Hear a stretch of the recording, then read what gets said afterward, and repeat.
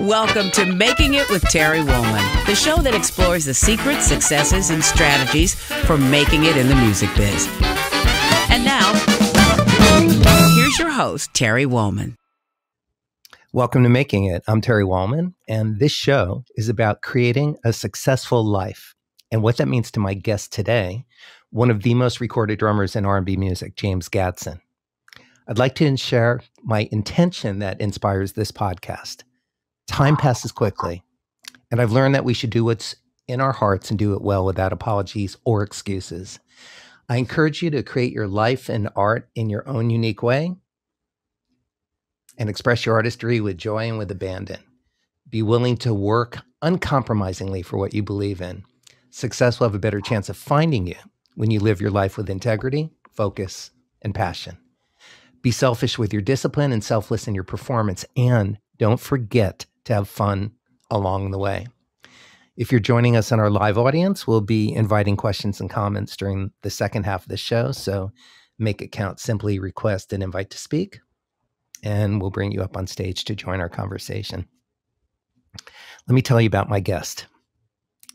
James Gadson is a drummer, producer, singer, and songwriter. Born in Kansas City, he naturally took to the drums as a teen with the influence of his father, Harold, who was a prominent drummer in the local music scene. James eventually found his way to LA and joined the legendary 60s soul group Dyke and the Blazers, where he laid down drums on Let a Woman Be a Woman, which later would be sampled on Public Enemy's Welcome to the Terrordome. After Dyke's tragic murder, James and other members of the Blazers would end up forming the Watts 103rd Street Band, which, with the help of Bill Cosby, secured a record deal with Warner Brothers. One of their best known hmm. songs was Express Yourself, which was sampled by Dre for NWA's Express Yourself. This was just the beginning for Gadson's prolific career, which next found him collaborating with Bill Withers, producing, writing, and playing on the successful Still Bill LP, which featured Use Me, Lean on Me, and the very hmm. funky Kissing My Love. He became one of the most sought out studio drummers, playing on over 300 gold records and over a thousand recordings. James played on Marvin Gaye's Let's Get It On, the Saturday Night Fever soundtrack, Herbie Hancock's Manchild, and has also recorded with artists Beck, Paul McCartney, the Isley Brothers, Frank Sinatra, Joe Cocker, Justin Timberlake, and Ray Charles. James, I'm going to turn your video back on and welcome you to the show. There you are. All right. Uh, so welcome. It's it's great to see you and to have you here. Great to see you and great to be on your show. Thank you. It's going to be a great conversation. Um, wow. Yeah, one of the things about the show that I love is is it's an unedited hour of conversation about anything that's important to my guest, and we have the opportunity to speak about things that uh, we don't often get to to speak about as freely on other shows. So, uh, so I'm very much looking forward to this conversation.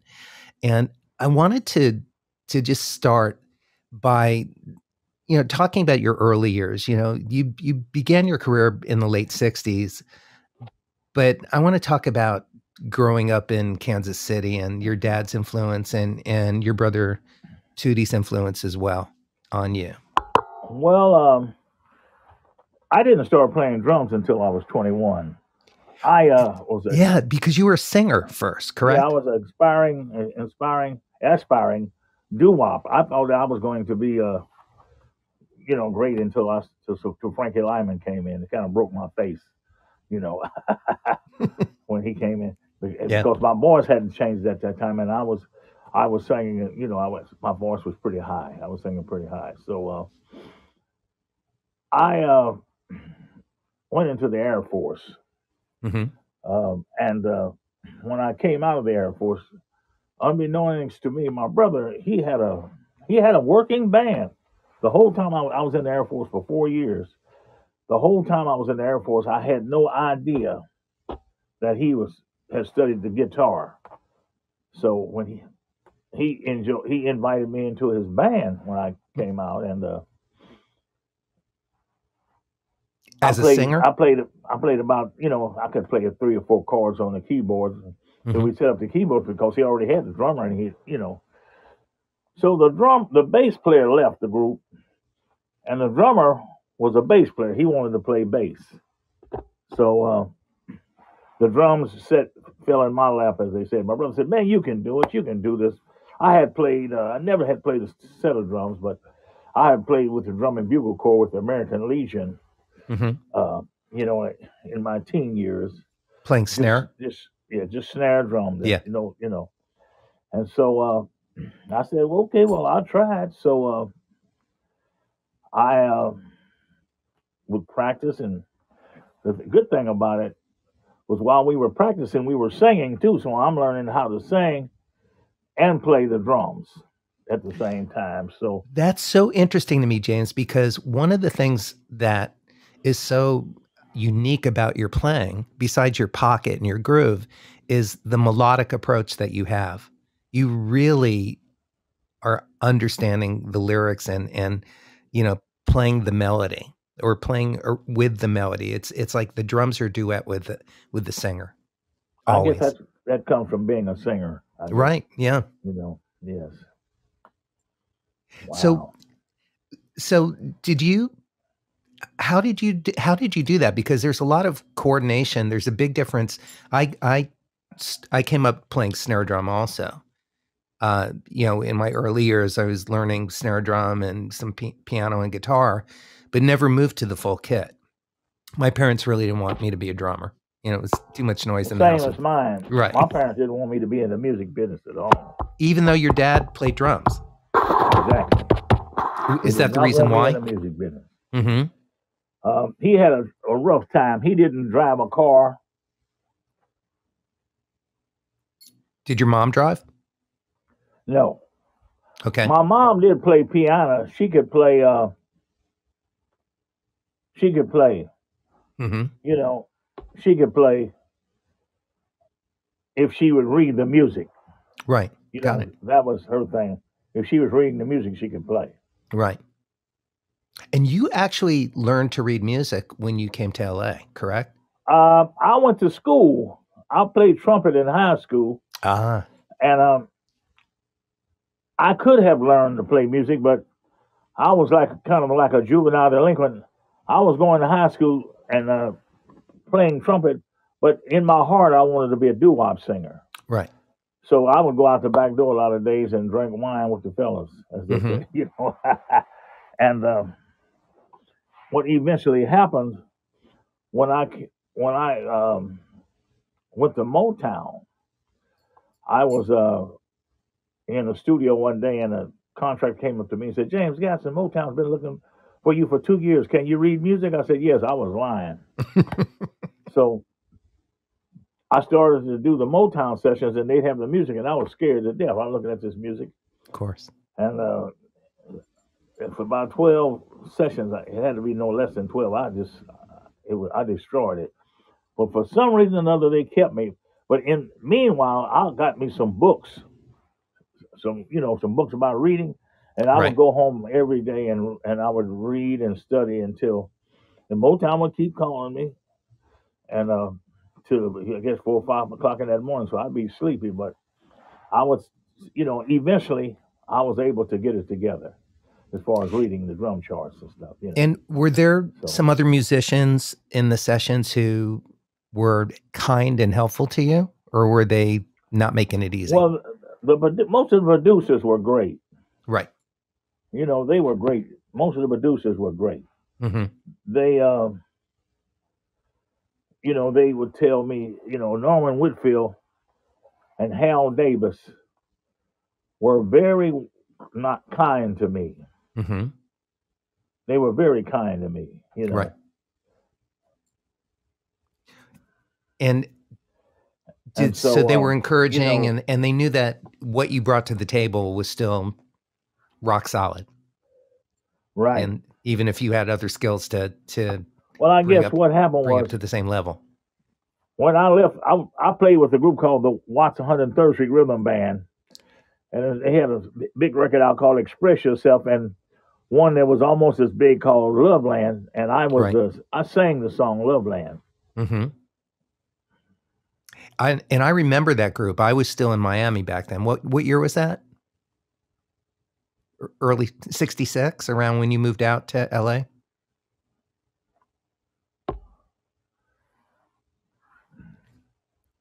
Um, or actually, no, that was six, like 1968 to 70, correct? Well, yes. So I was still living in Miami, and I I knew your group. You know, we were already hearing them across the country. So that was a pretty I big love hit. Miami. yeah, you you I lived went, there I went like to back Miami. in I guess in 1962 with my brothers. We got a, um, a, uh, what, what would you call it? A booking agent that wasn't really a booking agent.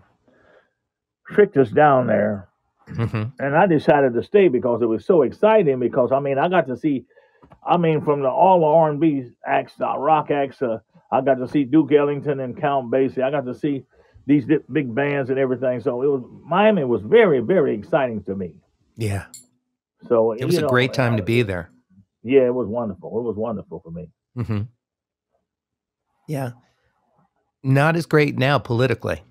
Little rougher. Well, it's a little strange down there right now. Yeah, I, I'm it is. checking it out, and uh, you know, you know, I don't, you know, everybody to their own. You know, I, I, uh, I agree. Yeah, you know, I- you know, it's all about Jesus with me. So, Yeah, and and it's about love and respect, right, that's and right, and not about fear and right. And, and disrespect or blatant racism. our you fellow know, man, yeah. Right. Just everybody just like that's that's that's that's what it Pull it together. me. You know, right. Absolutely. right. so you, you have a strong uh, spiritual background. Is that something that you had throughout your entire life or is it No, I more uh, now? I mean, when I was a young, uh, you know, I guess five, six, seven, all the way up to ten, we were required to go to church. My grandfather was a he was a deacon in the church, and, hmm and so uh, I noticed, you know, my mother and her sisters, they would always sing over to his house when he was alive. They would sing these spiritual songs, and uh, so we were required to go to church. Uh, then um, my mother passed away, and my grandfather passed away, and uh, it kind of defrayed us from going to church again for some reason. I just didn't go hmm because of the, the church. It wasn't the same church, you know, um, when he was there for some reason or another. Right. But um, I, I would all through my life I was uh, think about you know God Almighty and how, the love and how wonderful He is and how wonderful love is. So I'm in and out and in and out, you know. Uh, and uh, one thing that really happened to me was I got I got cancer. How long ago was that? That was about 23 years ago, hmm and um, I didn't know what I was going to do. I mean, I didn't know what treatments to take. It was different treatments, and I didn't know what treatments to take. But I was working out to a, a university from time to time with the uh, teachers at the university, you know, Mhm. the professors, and we had a. I was on Saturday nights. We had a, as they call it, gig. We had a job that we played, and uh, on the, the guys that were working the Friday nights at the same club was they was the one that got the gig for us. I didn't know that later on. But anyway, they asked me. They said, "Man, the drummer won't be there this Sunday. Can you come and sit in? We'll give you 125 dollars, which, uh, and uh, we'll feed you breakfast." hmm So I said, okay, I'll do it. I mean, it, you know, it was, they were kind of persistent. So I did it. I played, came in, and now they had charts. You know, they had this church, yeah, this church, they had charts. They had the charts, chart set up. So I played, and uh, we had breakfast, and uh, the second service, they had two services. I came in, I sat down the second service, and uh, they were laying uh, laying on of hands, as they called it hmm and uh, I was very uh, partial that I didn't know. You know, they said, "Gadson, come on, come on up here. We can lay hands on you." I was, I, I, I got up. I didn't want to do it, but I, I got Mhm. up. I went up to the uh, where they were perform, you know, doing the laying of the hands. hmm And when they laid hands on me, I have never had a feeling like that. I could pe- a feeling of peace. I mean, it was wonderful. Wow. It didn't cure the cancer, but it was so peaceful, hmm and I knew that uh, you know God was in my life. So- Right so, in that uh, moment. Yeah.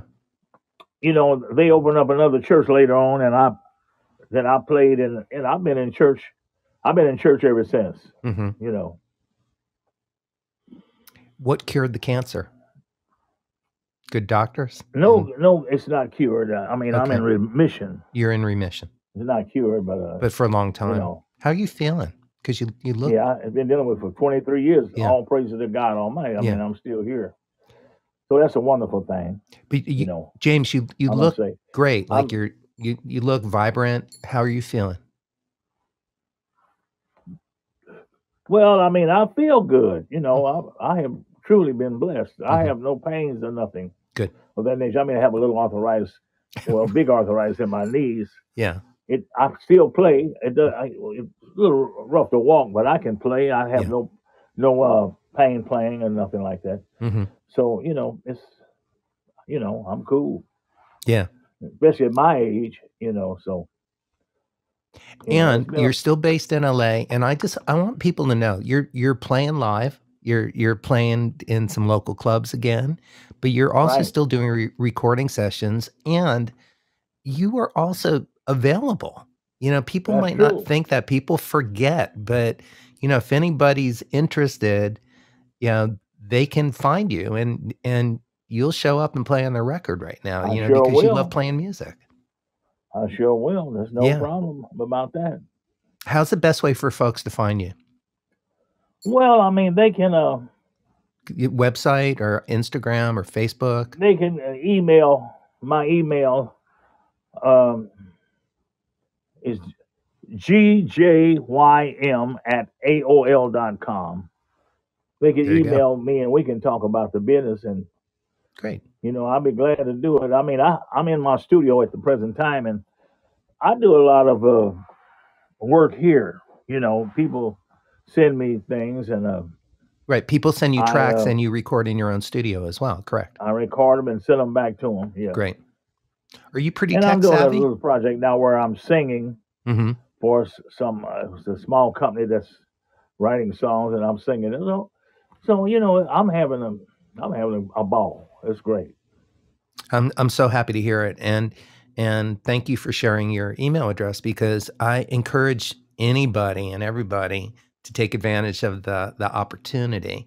I know. Um, not that long ago, a few years back, a, a mutual friend of ours, Mindi Abair, you know, reached out to you and you played on on two of her records, actually, I believe. And uh, and I thought that was so great when you did that. And and uh, you know, a few years back, boy, it's probably even longer, but uh, we did something with Keb' Mo' together, you know, and you were at that studio, and that that was a really great session. And so, uh, yeah, I mean, I'm so grateful that the younger uh, musicians and singers they they uh a lot of them call me and they like what I do, and that that's truly a blessing for me. well, I mean, let's I- talk I- about I'm- that for a I'm minute. In Like, all, I'm in all of that. You know, I don't take it for granted. You know, Yeah. Well, even recently, you know, just this 2023, you you played with Philip Bailey on State of the Art, uh, or actually, it's a re-release. It looks like on that record, but uh, you've worked with Robert Palmer last year, uh, Paul McCartney, Jon Batiste, Nancy Wilson, Florence and the Machine. Uh, the year before, Keith Urban, Harry Styles, uh, Beck. yeah, you that know, was a gas. Harry's thing was great. yeah, Yeah, I I was curious. What what was that like for you? You know, working with Harry. Oh, it was uh, it was a wonderful time because um, they had requested me. They, you know, they said, "Well, Of course. is uh, Bill Withers drummer still living? well, let's get him in here." So, so I was, I mean, it was, you know, it was great. You know, I we had a good time, and uh, everybody was cordial. You know, I, I it was it was enjoyable.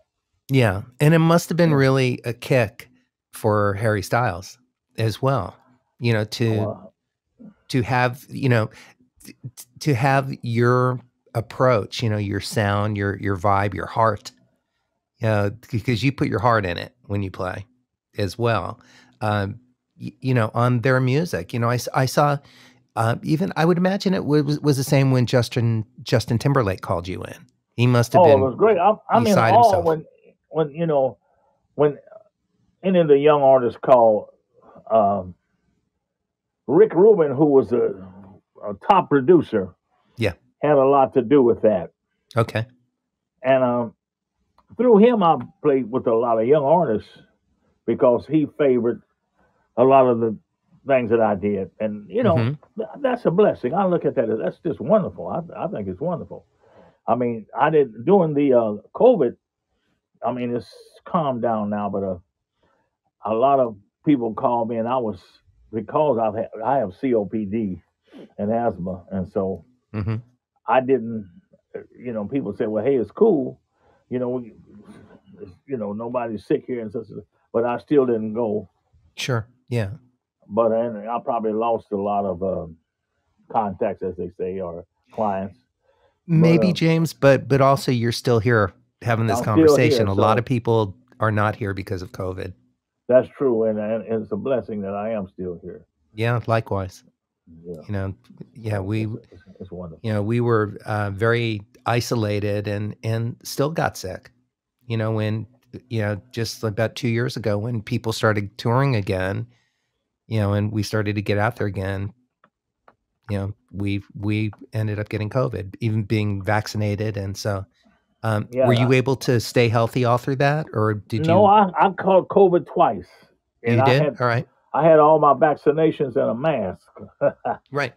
And so, uh, you know, the second time that I caught it, uh, the uh, doctor said, "Well, hey, man, you know, a mask is uh, helps a little bit, but it really doesn't." And so, Right. is what it was. But they Yeah. had by that time, the, most times that I caught it, they had- they had some medicine, Paxavoid, I think that's what it's called, yeah. hmm and uh, it really, it really helped me. So absolutely, all praises to God for that. You know, that's great. So. You know, I th- one of the things that I think people don't know about you, you know, you're known as an R&B drummer from from working with Quincy Jones and Randy Crawford and uh, you know, and, and of, of course Bill Withers and Temptations. I mean, the the list goes on and on. Um, but you've also played with some jazz greats also, and and other people that might be unexpected, like Leonard Cohen. You played on the Future record in 1992. You played with Boz Scaggs and um, Kenny Rankin and and the wonderful Phoebe Snow. You know, on one of my favorite records, Phoebe was a really special person. As you- Yes, I would you know, imagine, I came to California. I was a bebop drummer, as they called it. That's all right. I so could you not play R and B. I had you couldn't. that's I could not play R and B. I had uh, graduated when the B three organ got real popular. Then I started to playing with the B three organ players and the outside guys that were playing the outside music. Yeah. And so, how I got to California, some friends of mine who were doo-wop singers when we all were going to school together they had established a wonderful uh, following, and they were on the Dean Martin show. Mhm. And so I thought they had made the big times, which they Right. were pretty popular in, in the hotels all around the world. But Mhm. they sent for me to come to California. I came to California, and I couldn't play their music, and they were playing R- pop R and B. I couldn't play it because I was a straight ahead bebop drummer. right. So I had to start all over again, and uh, you know learn how to play R and B. And the So and the reason how did why you how did you learn to play R and B, or who did you listen I to? I would go to different jazz clubs. I mean, I was it was pretty rough for me out here because Mhm. they couldn't use me, so I couldn't work. I had just Right. gotten married. I had a child. I would walk fifty blocks sometimes to, to go to a jazz club, to you know to set in as they call it, to see if I could get hired. right. But nobody knew me, and I would ask the guys, you know, man, can I sit in? We don't, we don't know you, you know. So it was pretty, pretty, pretty, pretty rough. But I had, I had, I came to California prior to the time that I moved out here with an Mhm. organ trio, and I met a drummer by the name of John Boudreaux, who was a famous drummer in New Orleans. He played on a lot of the hit records, and he played jazz as well as R&B. And so I kept his number. I happened to find his number for some reason, and I said, "Man, I'm starving to death out here." He said, "Man, I'll get you a gig, as they call it, a gig, a job." So he got me a job with a guy by the name of Charles Wright, Sure. who later became it was Charles Wright and the Wright Sounds at that time, which later became Charles Wright and the Watts 103rd Street Rhythm Band. hmm And uh, he fired me about five times because I couldn't play R&B. So I don't, I don't, I guess he couldn't get anybody else. So he just had me to play fours, as they called it, four, four, four beats to a four four measure on the feet, on the foot, as they call it, on the snare and on the hi hat. And that was the hardest thing in the world for me to do because I was, I was free, as they call it, you know. Right. Uh, But sure. uh, eventually, you know, I had to play that because I, you know, I didn't want to starve to death, and I had a family. right. I was trying to, you know, I would get on the bus, um, and go to the go to his job, you know, because it was a Thursday night and it was a strip club and the strippers were off, and I was making thirteen dollars. That was that was no money, but if thirteen dollars was, was great, you know, I just needed anything that I could, you know, Right. Right. but eventually, I got after after about seven eight months of playing, you know, fours. I started to be able to hear the R and B legend, as they would call it, the, the- how to play that and the the sixteen notes thing that people, um, you know, they they liked the way I played those notes, 16 notes. Um, he didn't like them at first. He didn't want me to play them. He just wanted four. Because Motown had them, they would just play four, four, four. A lot of their, their uh, records had the four beat. But eventually, I eased the 16 notes in, and he got a big hit out of "Express Yourself." He sure He did. sung that, and and I played. I also played the 16 notes on song called "Love Land." Right. That was a big pop hit that I sang on. Right. And you're talking about the So, uh, hi hat 16th notes? Yeah, the 16 notes Yeah. on the hi hat. So Yeah. that uh kind of uh was my uh specialty. You know, a lot of people like the 16 notes. They like the way I played them. And even on the uh, even the disco stuff, I would play the 16 notes with the open and the ho- closed hi hats. You know, that was my sound style in playing. You know, a lot of the uh, disco stuff. Well, So one um, one that was, a, that was a iconic blessing. That was a Yeah. truly a blessing. you know. that that doesn't surprise me because one of the iconic examples of that is on Bill Withers Use Me Up, where right. where your hi hat part has become one of the hooks of the song. You know when you know when you would open and close that hi hat on the 16th notes. Right. Um, I mean, that was, you know, we when I really was with. Bill Withers, we would we would rehearse when we were on the road a lot of times. So right, we were in Spokane, Washington. I'll never forget that. And we were out on the patio rehearsing, and I came, I had came up with that beat, hmm and uh, he said, "Well, man, put on the end of it." The next thing I know, when we got back to Los Angeles, we were in the studio. hmm recording that rhythm. He hadn't he hadn't written. We recorded the rhythm. He hadn't he hadn't. It was no song to that yet. And that Oh, it was a eventually groove, that became a, a a- a really big hit for him. it sure did. You know.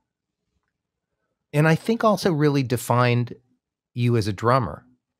You know, at least in recorded music. I mean, because I I know singers who will stop and sing your drum parts. You know, on that particular song. You know, I mean, it's really memorable and catchy. You know, Yeah, that was just a blessing. and it feels good. Um, I just something you know how we drummers do. hmm Uh, you know, we we experimenting. We were experimenting all the time. Right. And so I uh, I came up with that, and uh, it paid off for him, Yeah. And uh, it uh, brought my name into Into pop know, history and R and B yeah. history. So yeah. you know, it was it was it was a turning point. So it was it was great. It was a great Were- thing. That one and "Kissing My Love." Mm-hmm. Yeah, that's a great song as well. What about collaborating with Marvin Gaye, like playing on "I Want You" in 1976? Well, was that? Did Marvin Gaye. you I work don't those know parts out together? Yeah, I don't know. I had I I have done some sessions with him before hmm with a group that he was producing, and uh, when we did the "I Want You" album, I didn't see him in the studio. He was he probably he might have been in the control room. I didn't see him. Right. But the, the I Want You song came into uh, existence is because we were waiting on the music. And the music was two hours late, and, and I had been in Motown, I guess, about two and a half years. And I was worried about if they were going to pay me double scale. was the music going to get there? I was, you know, Right. how musicians are. I was a little Right. You want to nervous you want to get paid. So I just started playing. Boom, boom, boom, boom, boom. You know, Yeah. boom, boom, boom. And so I played. I was just going playing that. I, and the next thing I know, Chuck Rainey came in. Boom, boom. He was playing. Yeah. So um, Leon Ware, who was the producer, he came out from the control room and kept waving. Said, "Keep going, keep going." And so um, that's how that happened. So the, next time I heard it, it was "I Want You." you know, you As, know. I mean, well, I heard the changes, I, the chord changes, and and the things of that nature. Mm-hmm. yeah. You know. You know, but play, but doing that album was a it was a wonderful experience. You know, because I got to play imagine. a lot of different, um, I guess, styles that that I was accustomed to. Right. you know that that you know that came from me so you know it was it was it was really nice really nice i had a i had an enjoyable time in there with the musicians and the we had you know we had good times really good Right. times Well, it comes through in the music. You can feel it. You can absolutely Yeah. feel it. And Leon Ware turned out to be uh, a longtime friend and collaborator of yours. I mean, you did a Is lot of right pro- projects together, didn't you? You continued working with Leon. yes as well I on did, other projects. uh, you know other projects with him i did a, a Mhm. couple of albums that he sang on Right. and you know different productions that he produced Mhm. what, what a wonderful God rest his soul. What a wonderful uh, songwriter. Uh, Yeah. was, uh, Yeah, I totally agree. I, I met him in the early 80s when I moved out here. and how it- you know how wonderful it was to work with him. The, the imagination that uh, would you know it was like you were free and you were you know in a way of speaking. The way that it, the way he put the music together, it was just, it Mhm. was uh, incredible. You know. You, know, all the one thing, producers. um, I mean, they Well- all that I had worked with, uh, with Norman Whitfield and the Hal Davises and the uh, Carmichaels, hmm uh, great producers. I mean, I learned so much. I always learned. I always learned the way when when I was in the studio. You know, uh, uh, and, hmm and today, you know, I'm, I'm I'm eager to learn. You know, just music is so vast and it's you know it um it keeps rolling. I mean, certain the newness.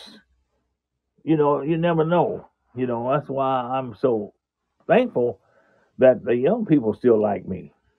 You know, Right. so it's it's hey, I'm I'm I'm I feel blessed, and um, I'm I'm I'm happy, you know, especially when I'm uh, making music. Yeah. Yeah. I I can relate to that. Absolutely. I'm, I'm very happy when, when I'm creating music, especially collaborating with other people who I respect. You know, it's, it, there's something incredibly spiritual and joyful about that. You know, oh, it's a wonderful thing. I mean, some days it could be strange. yeah, that's It's a very sensitive and spiritual idiom. I mean, it's uh, Well, it's a, you know, music is so uh, vast. Well, It's let's so talk about that for a moment because you you're absolutely right. And sometimes you're in a situation in a recording studio or a tour or a TV show where not everybody's open-hearted. You know, they're they're you know, they might not be the nicest people. You know, or there might be somebody in there who's not cool, but you still got to figure out a way to create that intimacy and connected, you know, to be connected and and stay open. That's very And, true. and it's not always Yeah, easy. you have you have to, especially if you're a studio musician, you have to uh, Right. you got to bring it as they call it, Right. Whatever the situation might be. I mean, hmm and I've I've uh you know uh, you you under because it's very sensitive. So I've I've been under pressure a lot of times and uh, was able to come out, you know, uh, positive. You know, Well, because I mean, how do you do that, is James? What's your sensitive. Well, I just had to uh, be calm, just calm down and uh, hmm not let my uh, personality, you know, uh, get get negative.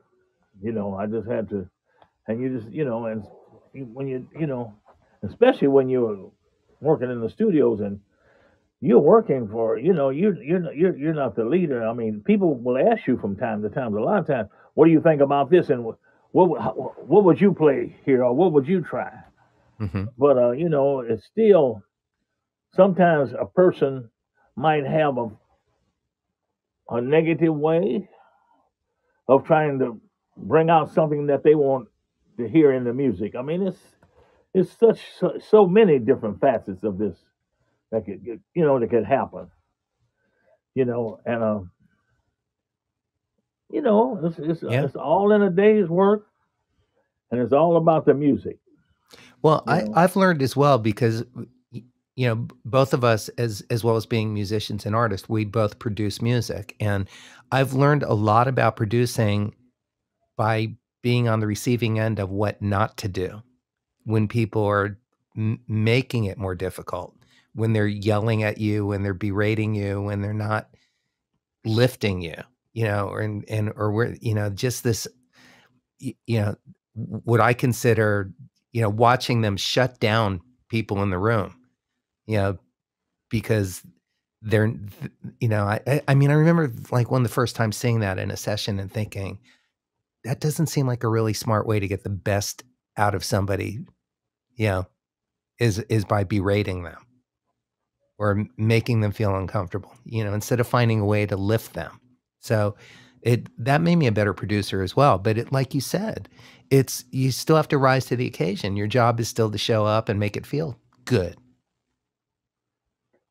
Yeah, you know, but you know, the best way to do it is when it's when it's when it's all about love. When it ain't about like when it Thank when you. it's not about Right. that. Right. But I mean, there are situations. Some people, it's just that way. It just happens. I mean, everybody's different, hmm and um, some people have a different way of. I mean, I, I think a lot of it is nervousness hmm when when when we when you get the yelling, and I think it's nervousness. I think that's what happens with a lot of people. So it's best to be calm under those circumstances. You know. Yeah, I I mean, stand in I, I agreement on found that that. to be true, you know, in, in my uh since I've been doing it like that. And, Yeah. you know, Well, I you've been doing I it a can, long time. yeah, So and I so can deal with it like that, you mhm, know. I mean, as long as it doesn't get physical, right. you know, it gets physical. It's a, and I've seen that. I mean, it hasn't happened to me, but I've seen that, and I think that that's that's that's very unmusical. It's not like that. That's true. But you know, that's you know, every, this this is the world, and everything is, is uh, you know, all all things uh, work Right. or they don't work. Right. So it's it's like What that. were your experiences Yeah. like working with Quincy Jones? Because I know that you've done Quincy some Jones projects is a with him. master. Yes, sir. I mean, he's a master. He knows. I mean, I I would have to say he knows exactly everything that he uh whatever he's doing. When he called me to work with him, he knew was what my limitations were, if I if I may say that. He knew what to call me for, hmm for me to do, and it, and it was very comfortable. The whole, I mean, every time I worked for him, hmm he knew it was never. I never had any pressure with him. Right. Uh, you know, it's three producers like that. Uh, um uh, the guy that produced um, the Radiohead, Nigel. hmm Nigel was fantastic, Right. and Rick Rubin. Rick Rubin. I mean, masters. You know, Rick Rubin said he doesn't know anything about music. Yeah, but you know what he knows but about? Rick knows Rubin about- knows how to create a safe space for people to be creative. He knows, yes, right, and he knows That's his gift. So I mean, hmm it's uh, it's wonderful when you working with. Yeah. I mean, it's like stepping into uh, fairy tale land, in a way of speaking. I mean, I look at it like that. I mean, when it's in a creative, you know, idiom, you know, it's so, you know, right. I, I mean, you know, so yeah. And I Absolutely. you know, and I every time. I mean, I, I I never would go to a session where I wouldn't try to give my all in all.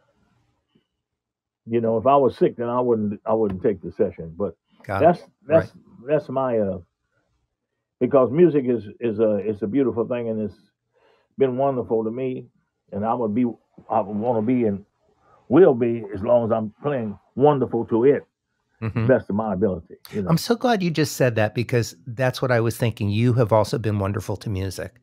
It's it's been uh, very reciprocal. So I'm glad that you I to for me to hear you say that yourself is I'm so glad you know that, you know, and and that or but that's I think part of the reason why you've had such such a successful career because you bring your all and and you are there open and wanting to learn and and leave better than you entered you know leave the room better than you entered a better musician because of the experience well, I mean, I found uh, as they say magic Mhm. in a lot of the, the sessions. I mean, you go in and uh, it just the way things happen. right Um, it's just that you know. I mean, I've played on a lot of. Well, it's quite a bit of ones that have been one or two takes. Uh, you know, like uh, reunited was one take, hmm and it just happened to feel so good that day when we Right. played it. hmm um, got to be real was Mhm. one take. It, and uh, I didn't think nothing about that though. But I reunited, I knew that it was it was something. it was magic That one, right when you all played yeah, you, I just knew it. yeah And and and uh, and other ones that I can't think of that was Mhm. probably one take. And then the other ones was- that you work for work with, like the Dyke and the Blazer stuff, where we created, was great. I mean, Yeah. that was that was my uh, introduction into the studios. That's what I first started, you know, doing studio work. So I mean, The- I have been truly blessed because I've been able to play on so many different types of R and B. Hmm and jazz, you know, right. And pop. yeah So I mean, to be able to uh, to do that, you know, to to comprehend and understand what the music is about. You know, sometimes it sometimes it's not like that. right And I and, and I've I've played on records that I didn't think was nothing, and they- became hit records. And I played on records that I thought were hit records, and they weren't. what do So you it's, think It's, it's, What- it's so bad. What do you think makes a hit record? I mean, because it, it is very subjective. Like you said, you know what feels good, but that's not always what translate in, translates into becoming a huge success. I would say a good, great story, and a great accompaniment. You Mm-hmm. know, a great accompaniment, who accompanying, accompanying the story. hmm I would say that. You know. You know, human. You know, I mean, uh, you know, it's it's man, it's so vast. It's so vast, though. But when you can, um, how would you say, when people understand where you're at, where you're coming from, as they say, Right. you know, then they can feel, you know, it's pleasant. They can feel a pleasant vibe from you. It's just, you know, that's, you know, that's that's Absolutely. that's what it's all And about. It's very case in. I mean, point, James, um, in 1978, you played on Melissa Manchester's "Don't Cry Out Loud" album that Leon Ware produced, and I was telling Melissa, or actually Melissa reached out to me because she saw that you were going to be on the show today, and you know she said to me this morning that she was in heaven when she played with you, like when you created that record together. That be, it was just a joyful that experience. was so wonderful. Melissa Manchester. I mean, Yeah. I was so in awe that I was able to play for her. yeah, yeah. You know, I mean, I think about that now. I think about that. I really think about that. That was so, wow. You know, what you a great, a great human being and a great artist. You know, Mhm. and I was able to, I was able to play with her. You know, play for her, to create with her. I Right. mean, you know, that was I think You people, know, I'm so it glad you was- said that, James, because I think people forget that just because you were a part of creating the music, you know, and played on all these hits, that doesn't mean that you're not in awe of the experience and in awe of some of the, the artists who you've had the the privilege to uh, to work with.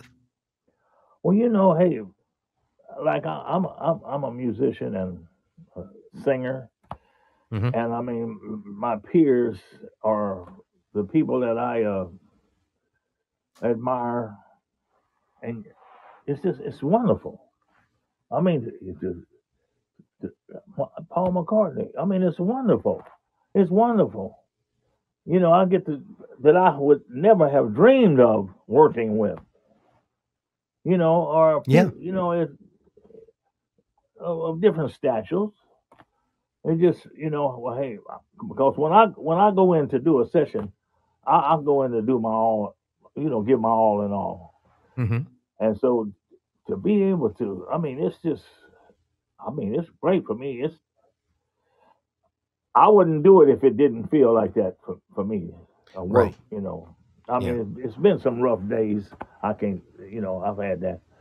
But to be able to play with these people that are of greatness,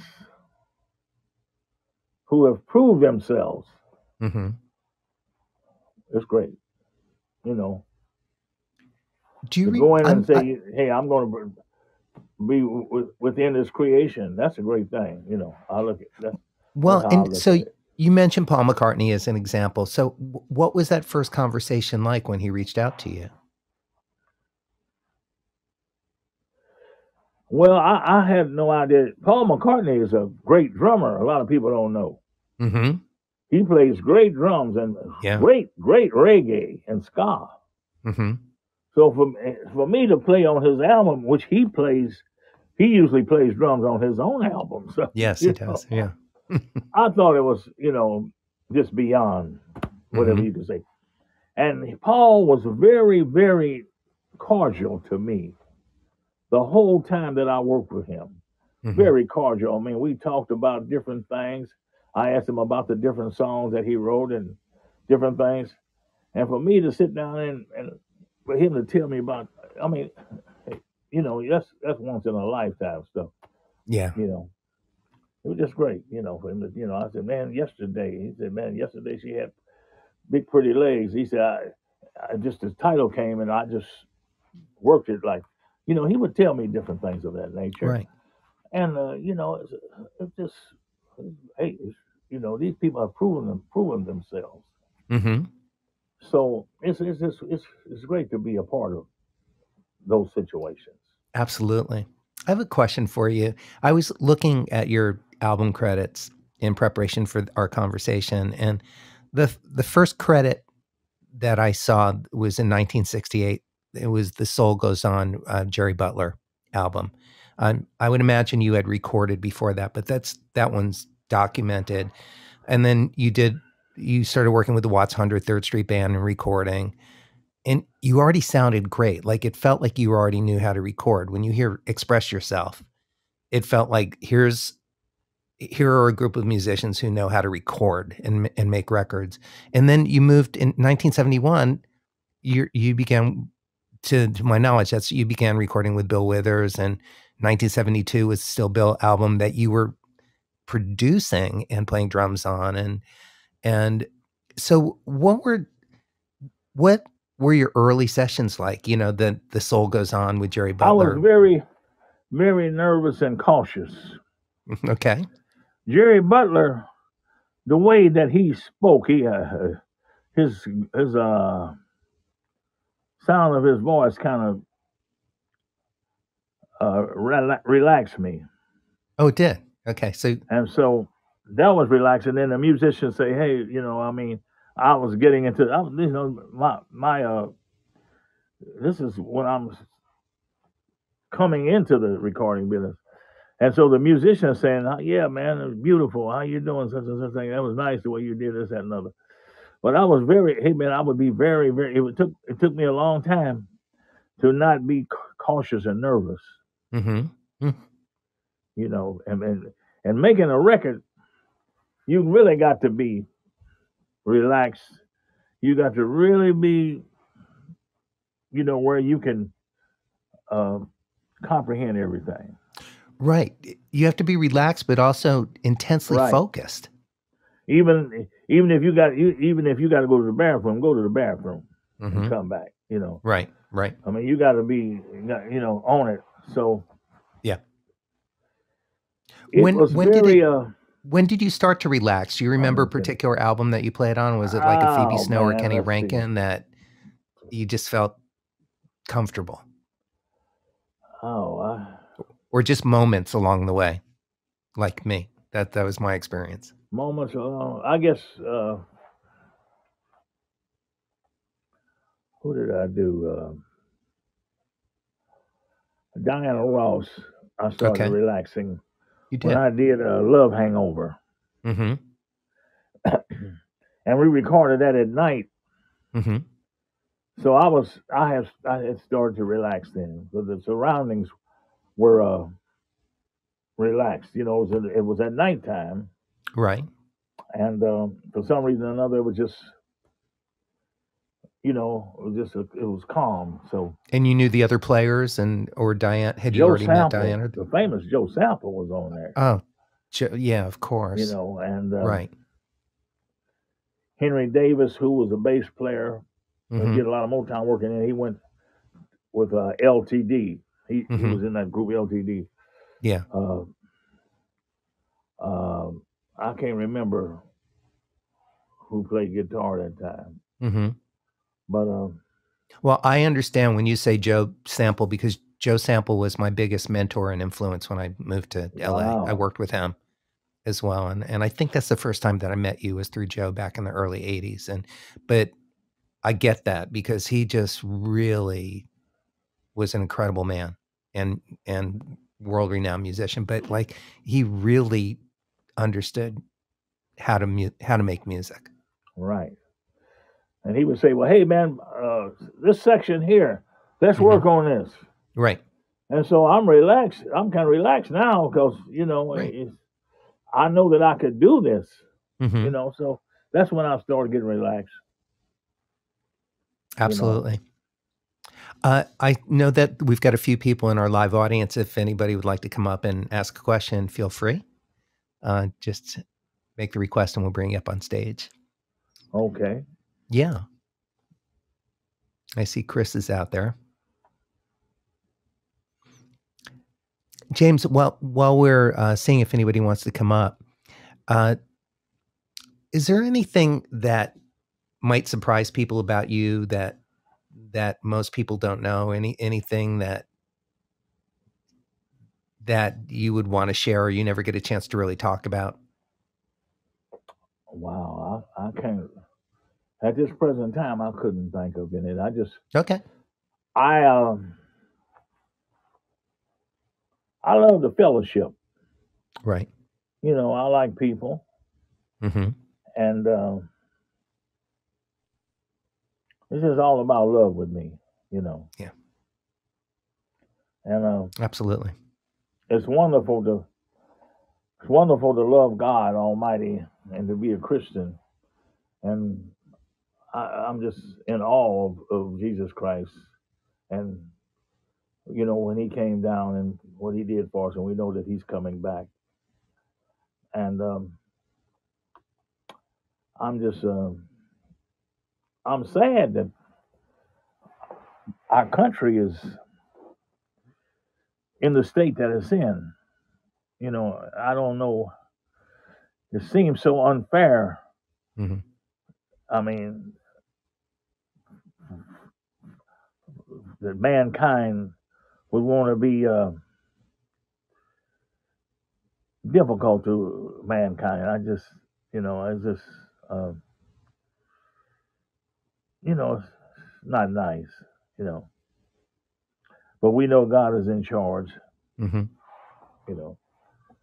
But it's, It makes me very know, sad just, as well. I I appreciate you you saying that. know, Mm-hmm. peace, peace, Right. and love. I think is uh, wonderful. That's that's what it's all about. Mm-hmm. Knowledge Absolutely. and wisdom, learning, Mm-hmm. enjoying. You know, it was great. Absolutely. We uh, we have Chris, uh, who's joined us on stage. Hi, Chris. How are you? Oh, I'm Well, good. fine. How are you? Good afternoon. Thank you for the opportunity to speak to your wonderful guest, Terry. This is a great interview. Thank you. Of course, and it's great to have you on the show.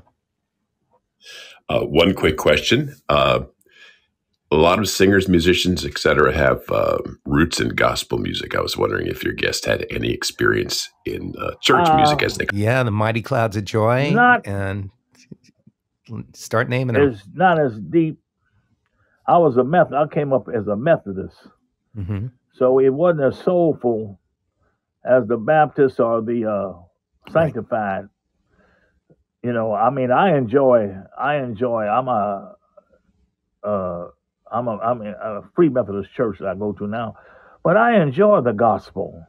You know, I enjoy all that gospel music. No, I'm, I, I I didn't come up with those roots. I heard it, hmm uh, and uh, but I, you know, I, I didn't.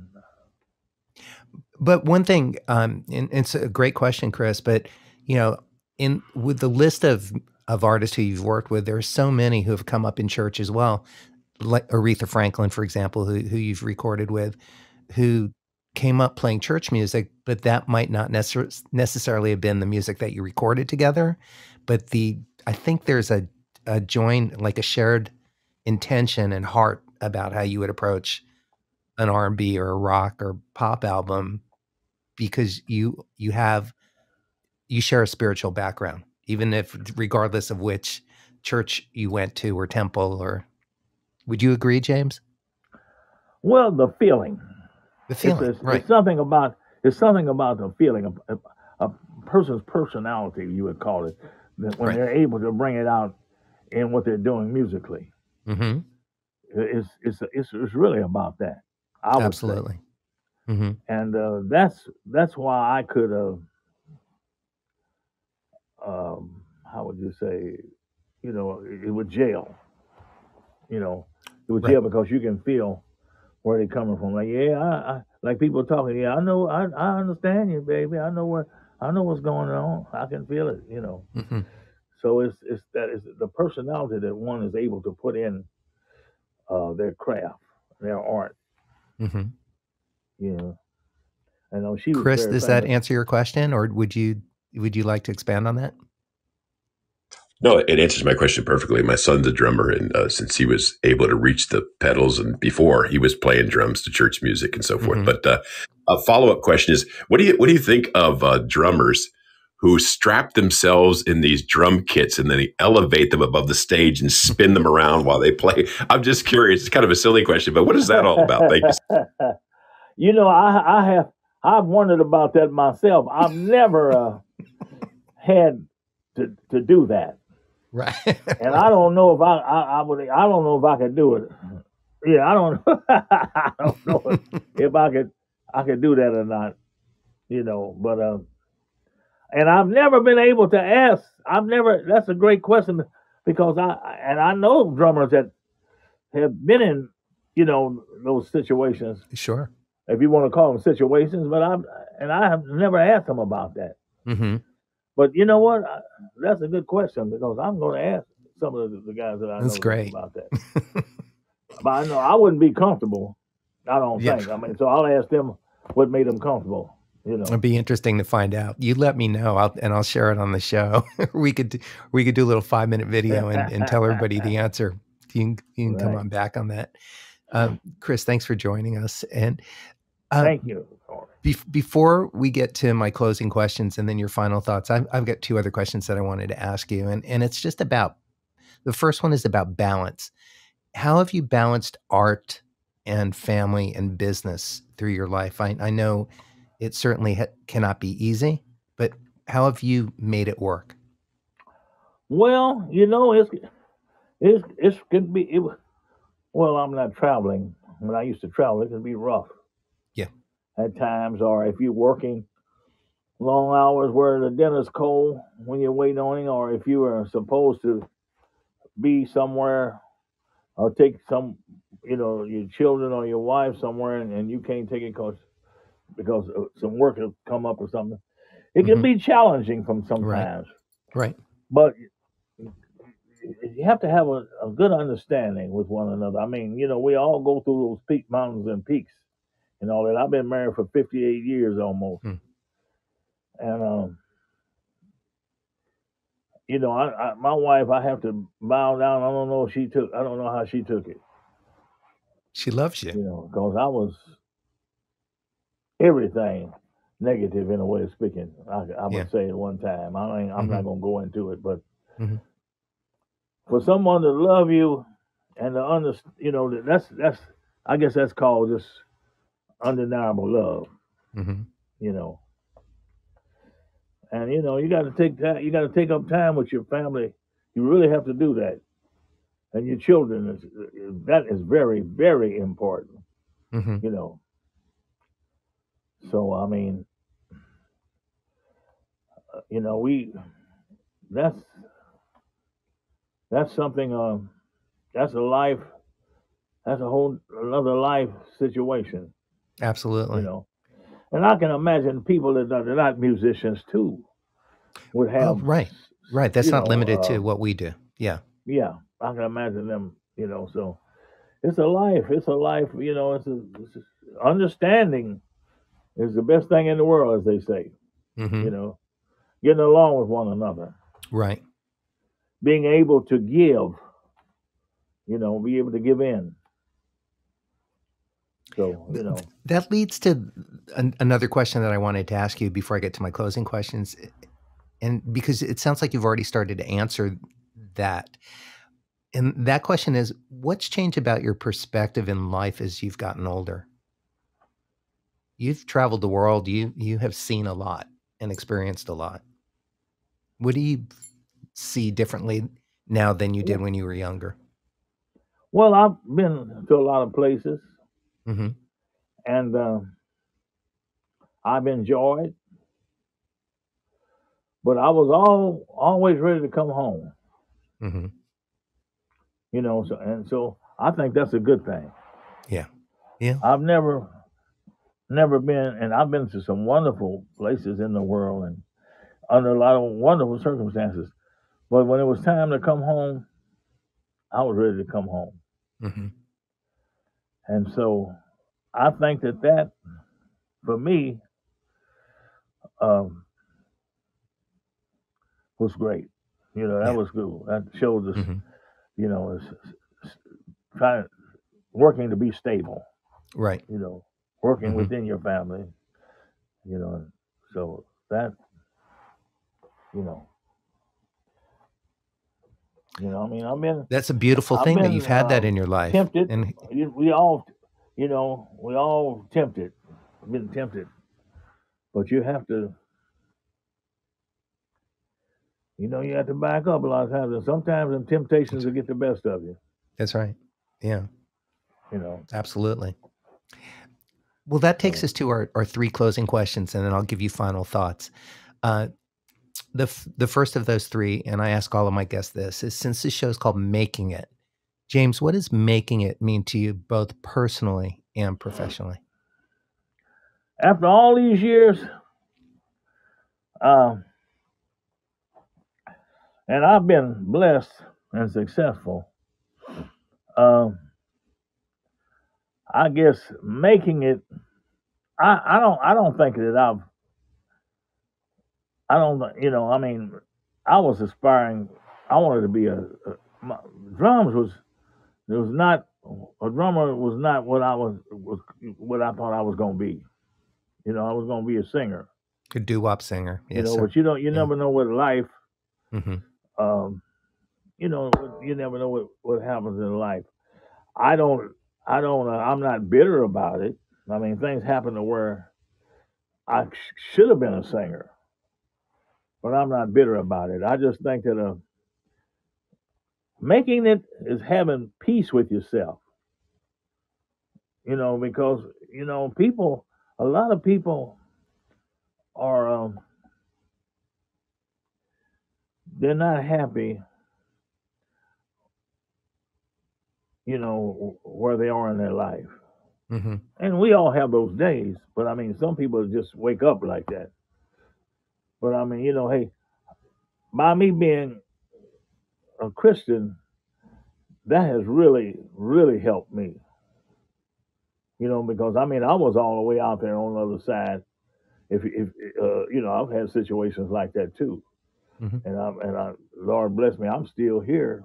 So, making it, I would think, would be with with being at peace with oneself. hmm Thank you for answering that. And the second question is, can you share can you share three tips for success that have driven your career? showing up on time, practicing your craft, which I still practice, um, and being able to uh, get along and understand, you know, being able to get along with somebody. You know, I think that that's that has a, you know, you know. Those are three excellent tips. By the way, can you elaborate on on your practice? Um, what is your practice? Do you prac- Do you still practice rudiments and paradiddles? I or- practice or everything. I mean, Everything. I mean, Every you practice. I mean, drum wise, I practice a lot. I'm not. I'm not a technical drummer and like a lot of technique stuff, but I'll practice that. You know, it doesn't. Uh, it's not my forte. In other words, but I'll practice some of it. I listen to some. I listen to some of everybody, hmm and then I'll practice. I'll play on. I'll practice. I'll put up a different song, a lot of different songs, and I'll practice and, and try to see what the drummer was feeling. And it's a, and man, that's that's really dense because a lot of you know you take a lot of the records that they recorded that were hit records, and uh, you try to play what the drummer played. hmm You know it. you know everybody has their thing. I say it like that. Right. you Exactly. know. But I practice. I you know the songs. I just like the song, different songs. I might put. Yeah. I might. It's no telling what I might practice on. hmm You know, at this at this stage of the game for me. Right. You know, I still Absolutely. practice my reading. hmm You know, because I didn't grow up learning how to read. A lot of people were, were six and seven years old when they started to read. They took the piano lessons, and so Right. they were they're avid readers and stuff like that. So it's kind of in them. Right. You know, but that's that's a skill that requires um, regular maintenance and practice. Right. Absolutely. Reading. I do the same. And if I don't never do it again, I still practice because it's my yes. craft. Right. Right. You know. practice your craft. My closing question before I turn it over to you for your closing thoughts is at this point of your life, with everything that you know to be true, what would you tell your younger self? What I do what? What would you tell your younger self? The younger people, I would tell them to uh, reach for the sky.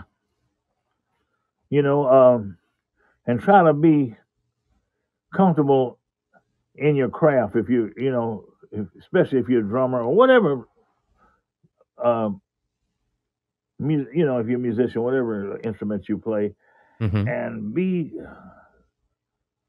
comparable to where you'll be able to, to, you know, approach somebody, you know, in a positive way. I mean, it works. People Mhm. people like people's personalities. Personality has a lot to do, especially in this in this in this music business. It has a lot to do with more so than the music a lot of times. hmm You know, be able to be able for somebody to be able to approach you Right. Be so they won't, you know, that's that's the thing. You can right. be, Be approachable. Be likable. uh, musician, but if somebody figures they, you're not approachable, they, you know, that's that's that's not good. Right. Absolutely. Great advice.